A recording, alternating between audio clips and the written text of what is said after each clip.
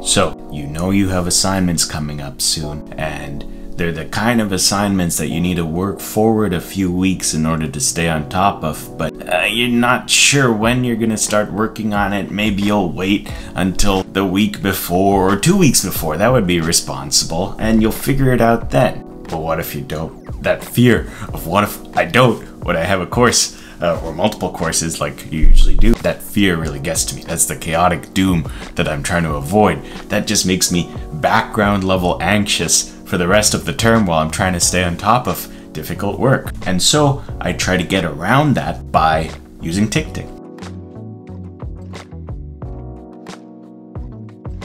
So I would open up my syllabus. That's how I start this process. And I'm going to look at when things are due I'm going to put those in my calendar and then I'm going to break down the steps that are needed to get to that end product in time for its submission. So I have my syllabus open here for my philosophy class this term. I can see that I have the essay due on November 4th. I'm going to decide how much work to put into it based on how much it's worth. It's worth 30%, so quite a lot, but it's also quite short, uh, all things considered. I see that it's due on November 4th, so I'm going to add a task here for that.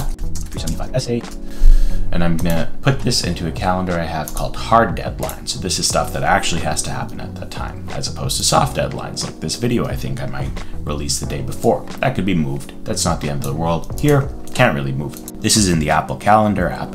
You could use any calendar app. But now that I've put that event into my hard deadlines calendar, I'm gonna jump back into TickTick which syncs with this. So I can see that this is synced in from that hard deadlines calendar. And so now I'm to reverse engineer the mini tasks or subtasks that I need to do in order to be able to submit that on time without getting stressed out so that I'm not cramming it all at the last minute.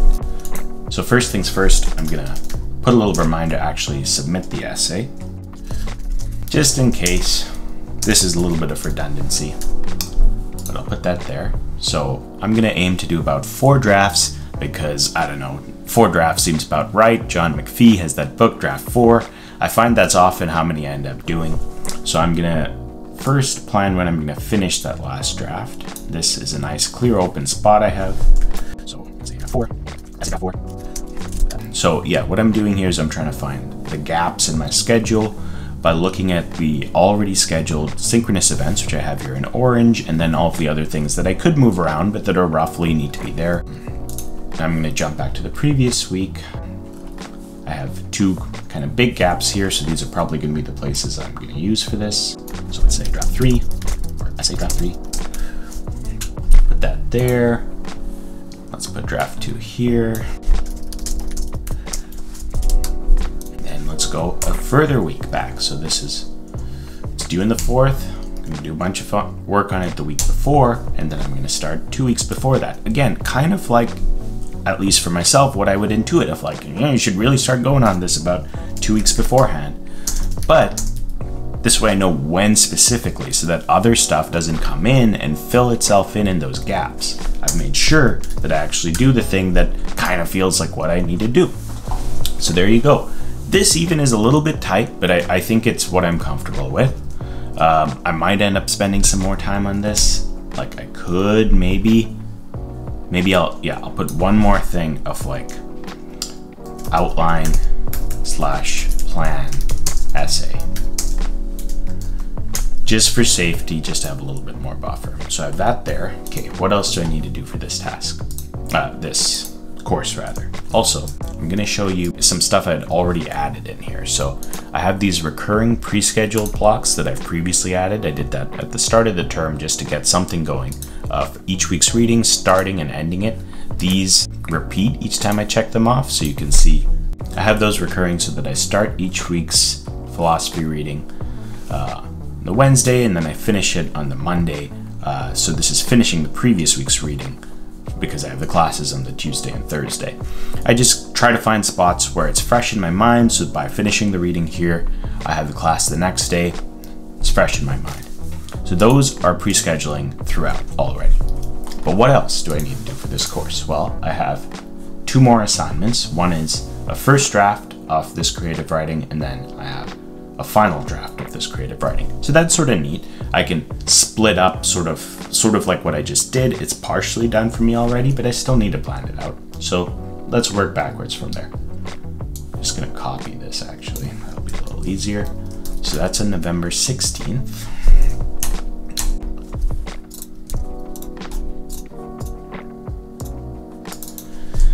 A little long for me.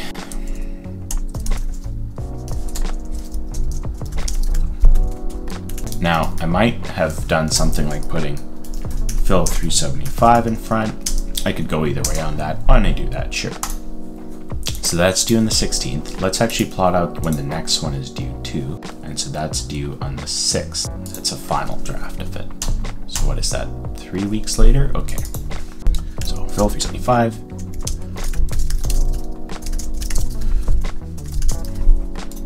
Over there.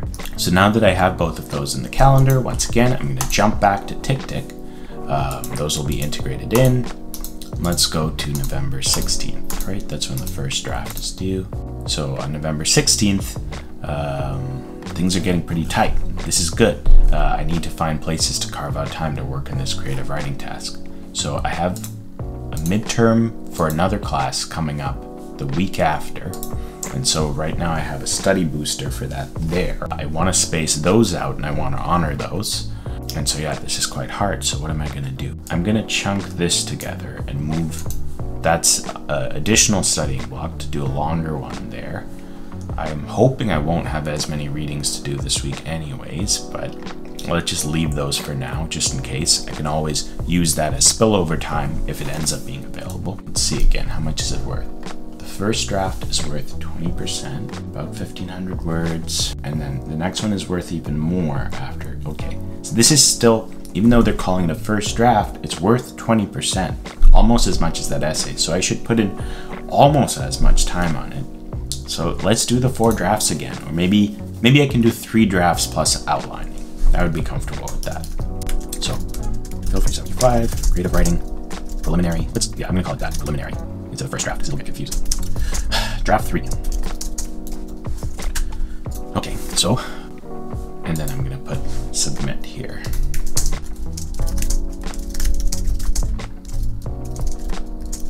A little note to myself that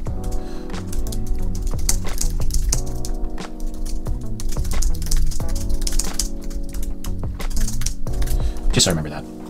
Okay, so when is draft two gonna happen? Okay, nice. Big gap there. Okay, when is draft one gonna happen? Again, big gap there. It's nice when the, the spots feel kind of obvious. Okay, so I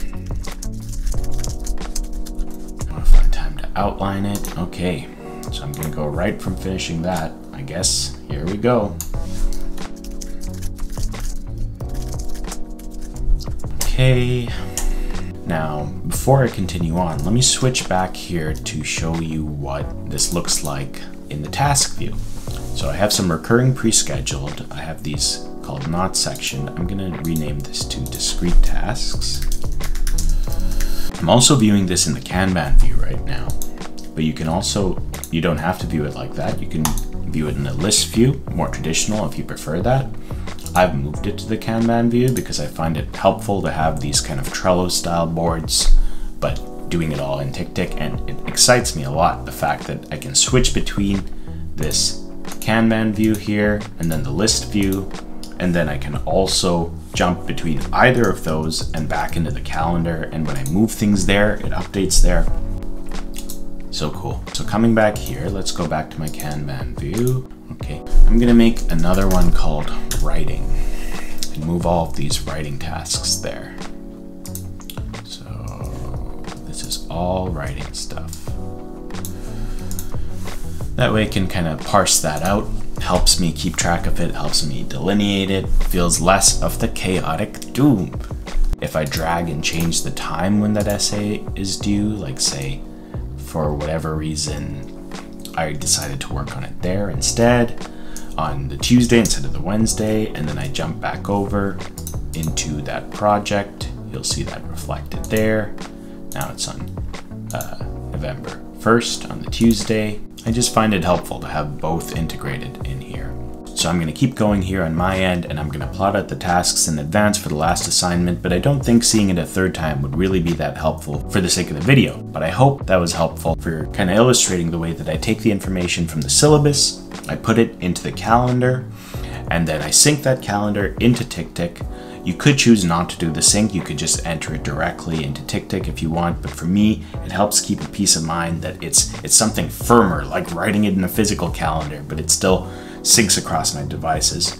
So I take that deadline and I reverse engineer from there when things need to happen beforehand, and I hope that it's been helpful to see a little bit of what that physically looks like. I feel like I've confronted that doom a little bit now. Still feel a little uncomfortable because things are tight, but there's not that much I can do about that because I have a lot of commitments this term. So this is the best I can do with planning out how to approach that in advance. And in some ways I feel worse knowing that I do have to fit all of that in now because ignorance was kind of bliss in some ways, but in, on a deeper level, I feel better because I know that I'm gonna suffer less in the weeks to come by having planned this out in advance. It is onerous, but I think it's still worth it. If you try it and it works out for you, let me know. If you have any questions about this, let me know. All the best. Bye bye.